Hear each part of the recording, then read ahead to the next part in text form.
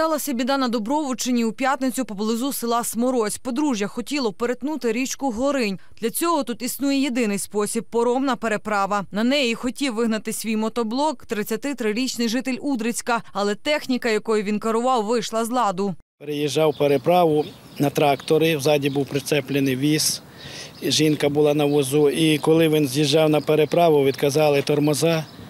Він зіскакає з цього трактора, хотів зупинити трактора, щоб не втопився. Значить, трактор його підім'яв і разом із трактором він пішов під воду. На жаль, він плавати не міг і почали його шукати, витягнули трактора, його там на тому місці, де трактор, не було. Водолази, які виїхали на пошуки тіла, почали обстежувати Горинь. Почали шукати там, де трактор, його там не було. І по всьому було видно, що велика течія, ямей, там три ями, які пройшли водолази, теж вже не було. І два кілометри границя з Білоруссю. Дійшовши до границі, водолази не знайшли тіло. В неділю вже поступив сигнал від білоруської сторони, що на території Білорусі виявили це тіло.